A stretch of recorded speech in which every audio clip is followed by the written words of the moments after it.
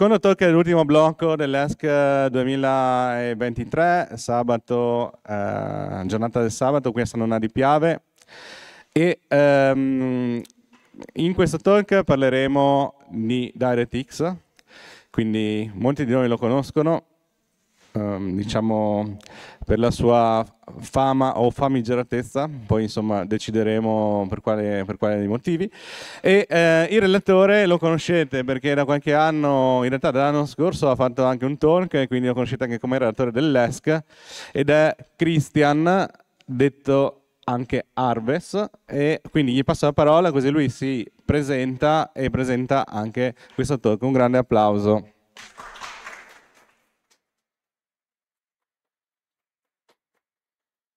Buonasera a tutti, io sono Christian, conosciuto anche tanti nomi tra cui Arves. Uh, questo è un, diciamo parto con una piccola introduzione per spiegarvi quello che ho fatto oggi in questo, nei miei ultimi mesi. Io sono uno studente, anche uno sviluppatore che ha imparato un po' da solo, un po' improvvisato reverse engineering, mi piace un po' andare, studiare e capire il funzionamento di le applicazioni, tra cui appunto mi è parsa una specie di curiosità, un dubbio, ma sappiamo tutti che Wine implementa DirectX e già ora possiamo usare Wine per girare applicazioni di DirectX, ma effettivamente Windows come implementa questa funzionalità? Prima di tutto vorrei partire con un attimo una mini introduzione di DirectX. Che cosa effettivamente è DirectX? DirectX è un set di componenti, quindi non un singolo componente come si potrebbe andare a credere, che svolge un, diciamo, funzionalità a 360 gradi per poter gestire un videogioco completamente, dalla parte audio, la parte video, anche la parte degli input come la tastiera. Il componente di cui mi vado a focalizzare oggi è Direct 3D, che è il componente per la re renderizzazione grafica tridimensionale. Quella che su Linux è OpenGL o Vulkan. Prima di partire quella, questa slide che vedete qui, uh, parto con uh, diciamo, c'è stato un grande cambiamento di Windows eh, da Windows Vista in poi, per questo il talk parla anche di Windows Vista, semplicemente perché dalle nuove versioni di DirectX, quindi DirectX 10, hanno cambiato più o meno tutto quanto. Quindi facciamo uno step, o almeno cerchiamo di fare uno step indietro, nel cercare di capire come funzionava uh, il, lo stack video di Windows prima dell'introduzione di DirectX 10. Ora, una delle prime cose che vorrei fare appunto è che Windows gira l'interfaccia grafica nel kernel, quindi possiamo immaginarci come un x11 situato all'interno del kernel. Quindi ipoteticamente, come è stato dimostrato molte volte, se c'è una superficie di attacco di questa parte di x11 nel kernel, ovviamente hai quasi preso controllo completo di tutta la macchina. Nello specifico qui si parla della parte di gestione del video, non andiamo a concentrarci magari in come va a renderizzare o come la, il sottosistema Windows, Win32K che è questo relativo X11 è collegato. Abbiamo prima di tutto un uh, display driver che è il componente che consente di fare accelerazione tridimensionale, come ad esempio disegnare un cubo. Questo è gestito da un driver creato dal produttore della scheda grafica come Nvidia o AMD e un secondo driver chiamato Miniport, che è un piccolissimo driver che gestisce principalmente il lato proprio primitivo dello schermo, come può essere ad esempio cambiare, presentare i cambiamenti su schermo, le varie risoluzioni del monitor e così via. Tutto questo è collegato assieme attraverso il sottosistema di Windows. Da Windows Vista invece hanno cambiato più o meno tutto quanto. Prima di tutto, Uh, infatti lo schema è un po' diverso. Si può vedere nella parte del kernel che Win32K è rimasto giustamente per tutte le applicazioni legacy, di cui anche il suo corrispettivo nella zona utente GDI, che è quello che noi applicazioni utilizziamo per poi disegnare nello schermo. C'è un componente principale chiamato il DirectX Graphics Kernel Subsystem, che potete vedere qui in DXG kernel, che gestisce più o meno tutto quello relativo alla scheda grafica. Fa un po' come se avessero spaccato in due l'implementazione di XP e avessero spostato tutta la parte di gestione delle schede grafiche all'interno di un modulo separato. Abbiamo sempre il miniport che gira nel kernel, che più o meno offre le stesse funzioni. Il grande cambiamento è apparso nella zona degli utenti, quindi dove girano le applicazioni di tutti i giorni con l'introduzione di una runtime di DirectX più strutturata che andremo ad approfondire nel corso di questo talk, un driver, il display driver precedente precedentemente citato che girava nel kernel per poter far funzionare la, ad esempio il disegno di un cubo o di una texture è stato spostato totalmente nella parte userland quindi abbiamo un enorme guadagno se per qualche motivo una nostra applicazione manda qualche comando malformato per far crashare il render della nostra scheda grafica, il sistema operativo non crasherà, ma Windows ha poi, attraverso DXGKernel, la possibilità di ri, si può dire, rimettere a posto tutto il video quasi come se non fosse successo niente. Solitamente appare un'iconcina di errore. Per comparazione, Uh, per vedere invece come dal, dalla parte open source, qui abbiamo lo stack video di Linux. Ovviamente, piccola premessa grande, la parte del Win32K, quindi del, del sottosistema grafico che disegna le finestre, è in, ovviamente totalmente nella parte utente, come si può vedere con Wayland o X11. Quindi, almeno di questo, abbiamo una superficie di attacco di meno su Linux. Il, ma la struttura di Linux è molto simile all'ultima struttura di Windows Vista precedentemente citata. Infatti su Linux abbiamo un componente chiamato DRM che fa un po' quello che fa il componente di DirectX nel kernel, gestisce un po' tutta la scheda grafica di cui abbiamo la possibilità di comunicarci in userland o attraverso Mesa, un'implementazione open source della parte utente come di OpenGL, oppure attraverso, esempio, lo stack proprietario di NVIDIA per quelli sfortunati che hanno NVIDIA. E All'interno di Mese in realtà c'è una divisione proprio nel codice tra la parte lato driver utente, quello citato prima del display driver, implementato dai creatori delle schede grafiche, e da proprio la runtime di OpenGL. Quindi si può dire che qua sono, la parte userland è molto molto simile, fatta quasi un po' l'eccezione di X11. I componenti di cui andrò a trattare in questo talk, che sono un po' frutto delle mie ricerche, nella parte interna sono due. Le runtime specifiche di DirectX come DirectX 10, DirectX 11, che servono per effettivamente mandare comandi alla scheda grafica per poter disegnare un cubo o magari una texture o proprio un mondo intero di gioco e un componente un po' più interno che serve come base per tutto il resto chiamato DirectX Graphics Infrastructure o DXGI.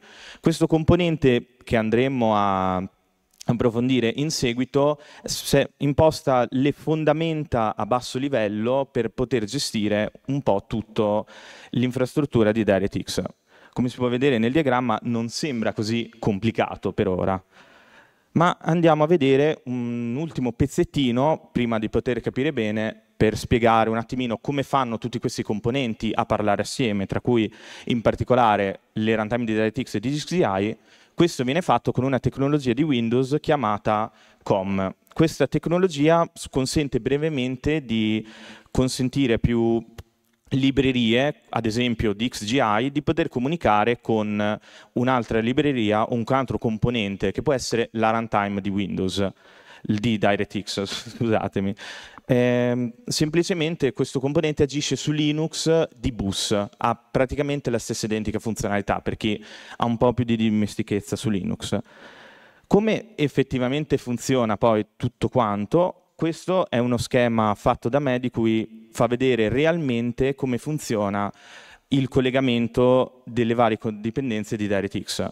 Abbiamo nella parte più in alto l'applicazione, quella che poi andrà a disegnare su schermo, che magari richiede a DirectX 10 o DirectX 11 come eh, un dispositivo, un accesso per poter disegnare un cubo su schermo, che poi andrà a comunicare con eh, il driver specifico del produttore della scheda grafica per mandare questi comandi al, eh, alla scheda grafica, DXGI che fa un po' da tramite offre alcune cose di basso livello, Uh, GDI 32, citato precedentemente, che era fa facente parte dello stack di Windows XP per poter uh, un po' disegnare e gestire le finestre, qui torna in realtà perché viene collegato uh, diciamo come specie di salto per poter arrivare poi ad XG kernel, quindi la parte effettiva nel kernel. Il, lo schema di Microsoft alla fine è molto simile, seppur che tutto in realtà è collegato allo stack video precedente di Windows XP. Microsoft non ha mai davvero ricambiato tutto quanto, ha semplicemente aggiunto DirectX, mi piace dire con la colla stick, assieme al resto della, delle nuove funzionalità. Infatti il sistema precedente dove si poteva disegnare le finestre, GDI 32, espone tutte le funzionalità Ecco, abbiamo GDI 32, quindi il componente precedente di Windows XP per disegnare le finestre, che in realtà espone tutto il funzionamento uh, del, del nuovo sistema per parlare con la scheda grafica. Ognuna di queste funzioni è prefissata con D3D KMT e sono resi disponibili a noi attraverso GDI 32, che andrà poi a comunicare col sottosistema di Windows per poi arrivare effettivamente alla runtime nuova di DirectX. Quindi è quasi tutto in realtà un mescolamento. Eh, c'è un attimo un problema di fondo che mi rendo conto ade solo, solo adesso perché mi sono organizzato molto bene per queste slide. E, niente, lasciamo perdere. Mm, ci, ci, arrangeremo. Passiamo adesso effettivamente all'implementazione dei componenti di proprio quelli effettivi delle runtime di DirectX, che sono appunto divisi in due, DXGI e le runtime di Direct 3D. Il primo è DXGI. Come citato precedentemente, crea un po' le fondamenta, il basso livello per andare a costruire le runtime di DirectX. Al suo interno è contenuto una classe madre, un componente madre chiamato Factory, di cui il solo scopo di creare tutti i componenti eh, che andremo effettivamente ad usare nella nostra applicazione, di cui abbiamo l'adapter, che è la rappresentazione di una scheda grafica, cioè, ovviamente ne possiamo avere più di uno nel sistema operativo, e un output che rappresenta un monitor e ovviamente varie strutture interne che non ho fatto nel diagramma perché alla fine non sono altro che estensioni, ad esempio, dell'adapter o dell'output e la swap chain, che è un componente che andrò a citare dopo, che serve per uh, far vedere davvero i cambiamenti nello schermo. Uh, questo è un piccolo schema che spiega come sono collegati gli adattatori con uh, gli output anche in relazione alle finestre. Come si può vedere il computer rappresentato nello schermo può avere uno o più schede grafiche collegate, i quali possono avere uno o più monitor collegati e possono avere più finestre eh, presenti nello schermo, anche magari finestre tra vario schermo. Tutte queste casistiche, incluse anche le casistiche di monitor remoti o schermi remoti, sono tutte gestite da DXGI. Senza infatti questo componente non possiamo accedere al resto della funzionalità. Questo è un codice esempio che mm, scritto da me, derivato con queste settimane di studi, che serve a denumerare, i, quindi vedere tutte le schede grafiche presenti all'interno del nostro computer. Qui c'è qualcosa che magari qualcuno può già aver notato all'occhio quando ho citato prima il discorso del collegamento con le vecchie API di GDI 32. Non so se qualcuno qua è familiare con le API di Windows eh, e ad esempio conosce la chiamata in un display devices. Mm, no, penso di essere quasi l'unico qua. E, ehm, e importante capire qua in questo spezzettino di codice di come Microsoft ci ha costruito in realtà un, una grande bugia perché hanno detto che lo stack di video di Windows Vista è totalmente separato dai componenti precedenti, nella realtà per vedere tutti i monitor collegati usiamo la chiamata di Windows XP, che poi è stata appositamente incollata con una chiamata, quella sotto, di 3D KMT Open Adapter from GDA Display Name, per poter accedere alla scheda grafica di Windows 7 partendo dal dispositivo presente su Windows XP.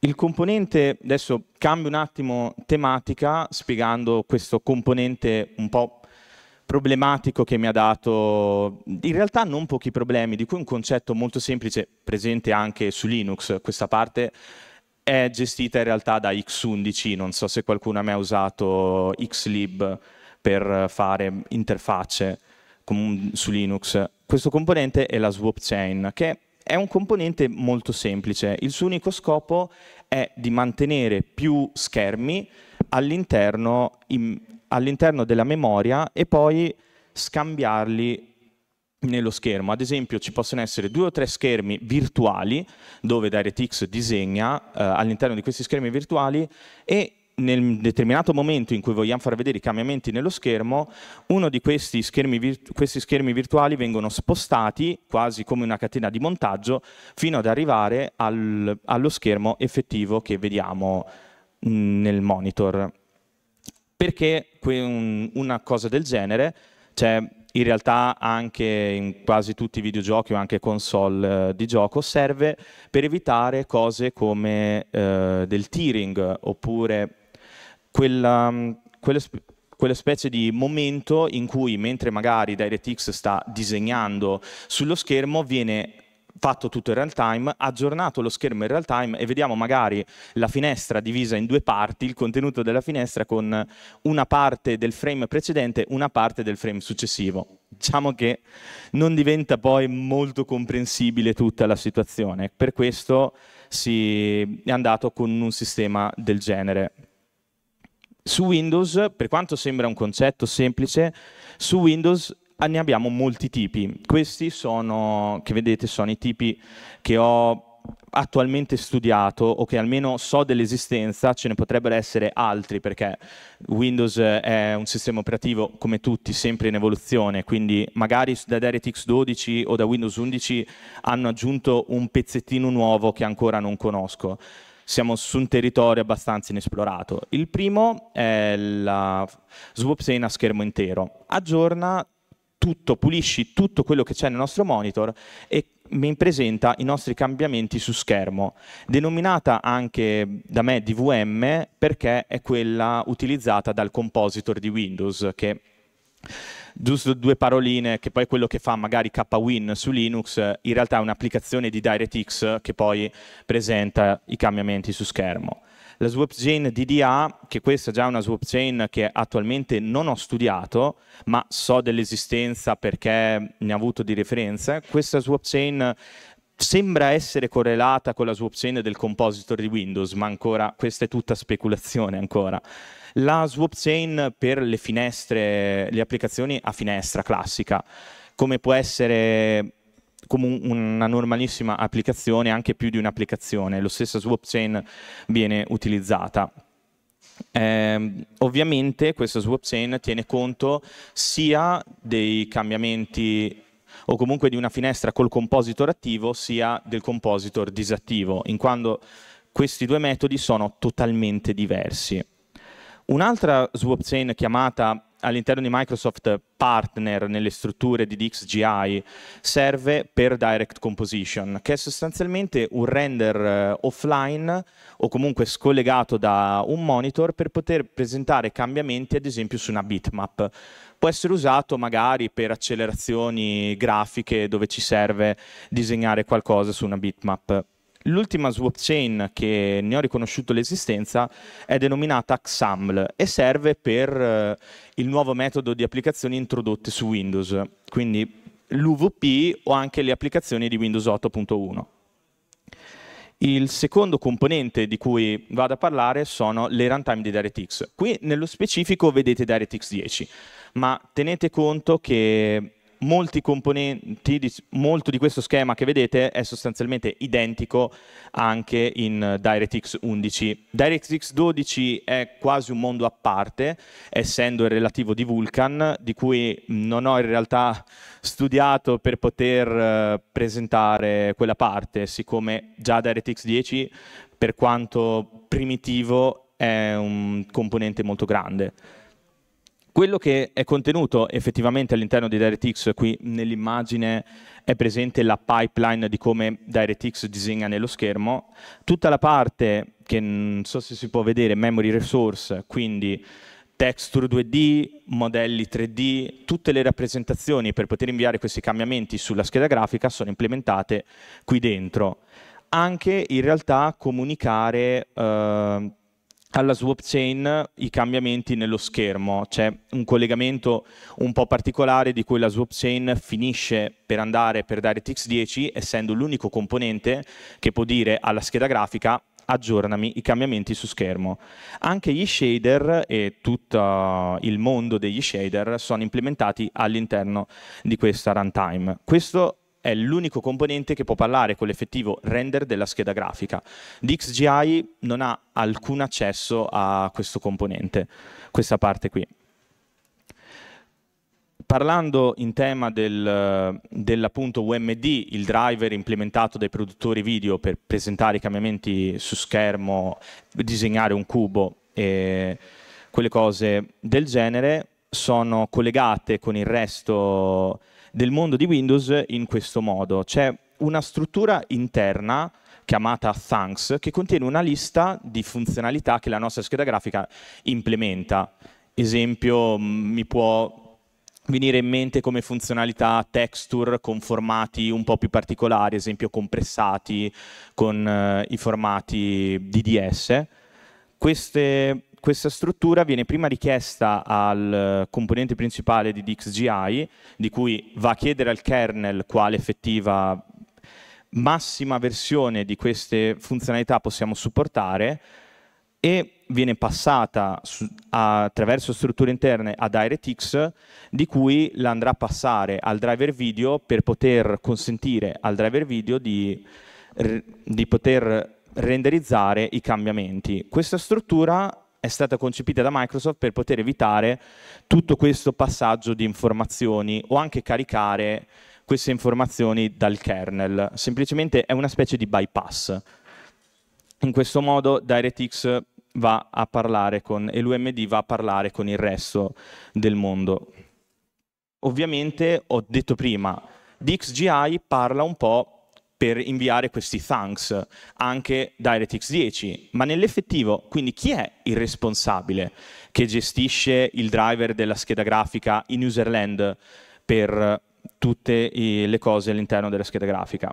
Questo è un flusso di esempio, diciamo un flusso di cui accuratamente, un po' approssimato, DirectX gestisce poi tutto quanto. In realtà la gestione del, dell'UMD è condivisa tra DirectX 10, quindi le runtime di DirectX, ed XGI. Partiamo con la base, un gioco richiede un dispositivo di DirectX per poter iniziare a scrivere comandi alla scheda grafica, è il primo step. DirectX 10 successivamente inizia un po' a chiedersi per quale scheda grafica abbiamo bisogno di un dispositivo, siccome, Win, siccome abbiamo detto prima si supporta più schede grafiche, si potrebbe avere una casistica dove abbiamo più driver video caricati per diverse schede grafiche. Quindi, determinato per quale scheda grafica vogliamo presentare i cambiamenti e disegnare su schermo, DXGI ci ritorna le informazioni a riguardo ed essendo una cosa specifica della scheda grafica, la runtime di DirectX va a chiedere alla scheda grafica di caricare il suo corrispettivo driver in user mode. Ora, DXGI non è che inizializza tutto quanto e dà l'ok per utilizzare questo driver, ci dà solamente una, una, reference per poter poi caricarlo in seguito quando DirectX è pronto per arrivare a questo passaggio. Infatti viene caricato solitamente la DLL, quindi la libreria dinamica, un componente, da DXGI, ma non viene inizializzato, non gli viene dato l'ok. DXGI ritorna questa reference alle runtime di DirectX 10 in cui procedendo un'altra serie di funzionalità si prepara per poter dire effettivamente all'UMD di partire e collegarsi effettivamente con la scheda grafica e essere pronto a ricevere comandi per poter disegnare quello che vogliamo.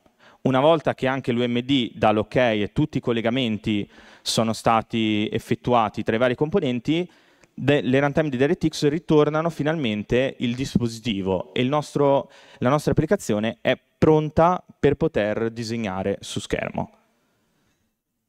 Una, adesso, siccome siamo in tema e so che c'è un numero elevato di persone che utilizzano Linux qua ho pensato di aggiungere anche una parte spiegando un po' Wine, perché questa implementazione che ho fatto io differisce, non si poteva andare a copiare il codice funzionante da Wine.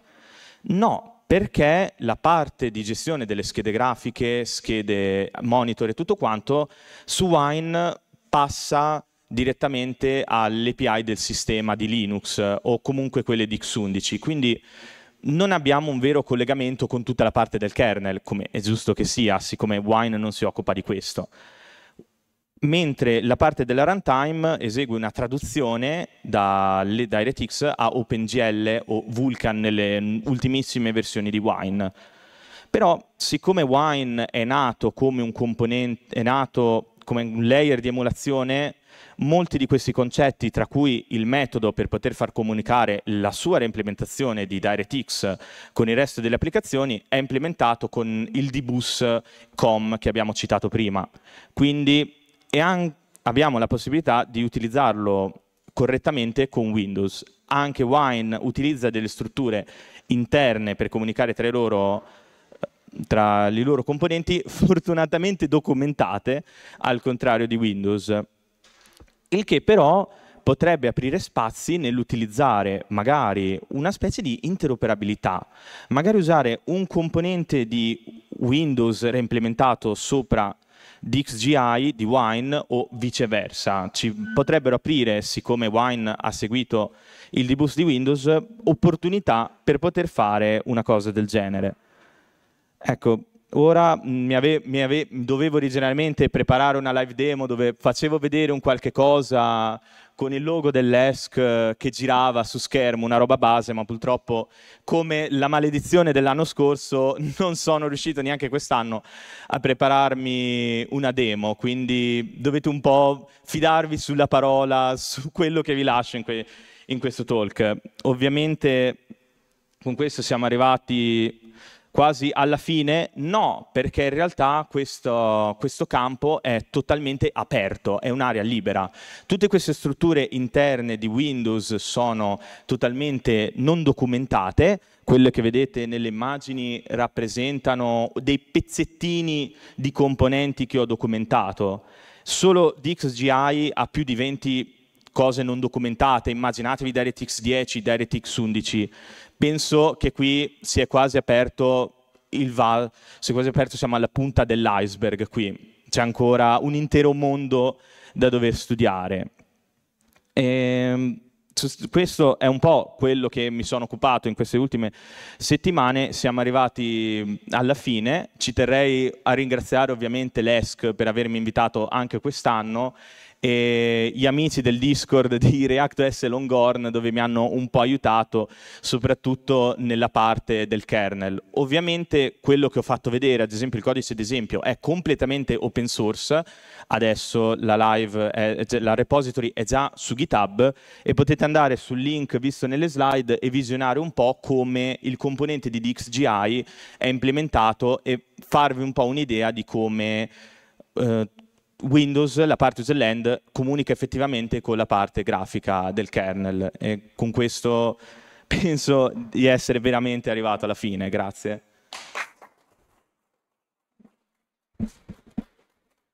Grazie. Qualcuno ha delle domande? Una domanda. Sì. Di allora, prima, prima Davide, scusa. Poi c'è anche Pietro, eh?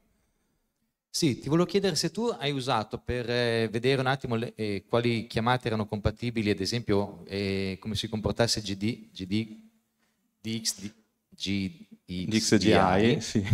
Se hai usato Graph Filter in, per caricare i grafi di ogni componente, praticamente Graph Filter è uno strumento di Microsoft che ti permette di caricare le DLL e di vederle in una sorta di eh, grafo che tu puoi comporre input e output e puoi anche debuggare il traffico che c'è all'interno di ogni singolo nodo, creandoti una pipeline con ad esempio l'encoding e, e, tutte le funzionalità di software che tu hai installato nella scheda vid nel, nel tuo computer e lì crearti una pipeline, in un certo senso ti puoi ricostruire un player, ti puoi ricostruire anche VLC utilizzando semplicemente questi filtri e mm-hmm. se erano delle, delle, dei metodi che hai usato per capire come funzionava la pipeline mm-hmm. o se hai fatto tutto quanto via codice. Purtroppo non conoscevo questo strumento, grazie per avermelo citato. Ho fatto completamente a mano, eh, rispettando le pratiche di Clean Room, ovvero mi sono messo con, di mano proprio da zero con debugger e un analisi statico tipo Ghidra mi sono studiato i comportamenti e i funzionamenti di DXGI riportati da qualche parte l'intero funzionamento della pipeline e poi reimplementato per assicurarmi di non toccare o comunque ispirarmi al codice di Microsoft. Infatti la struttura della mia repository è diversa, però sì, è stato fatto tutto a mano con a suor di bestemmie eh, con IDA Pro debugger di x64 DBG su una macchina virtuale Windows 7. Siccome già da Windows 7 a Windows 10 DXGI cambia, quindi mi sono concentrato su Windows 7, però sì, è tutto a mano.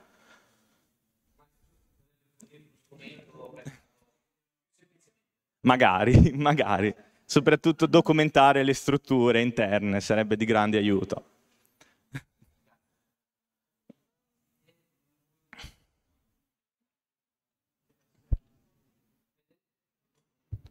Vedendo tutto questo, mi dà l'idea che il layer di DirectX 10 sia il classico tappeto sotto cui nascondi la polvere della complessità del software dal lato di chi deve utilizzarlo per creare un videogioco.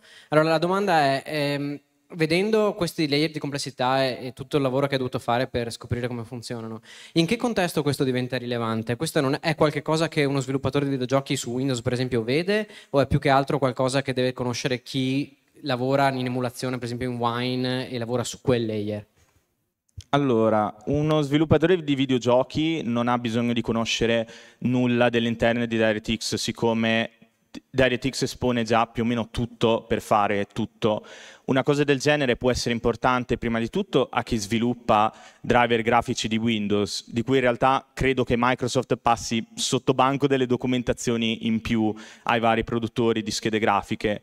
Può essere anche utile mh, più che a Wine, siccome non si parla di strutture siccome qua si parla anche del livello del kernel, più a un progetto come ReactOS, dove potrebbe giovare di accelerazione tridimensionale da DirectX 10 superiore, siccome attualmente sono fermi ancora a DirectX 9 e i layer di Wine con OpenGL 1 in software render sono molto indietro su parte di DirectX superiori.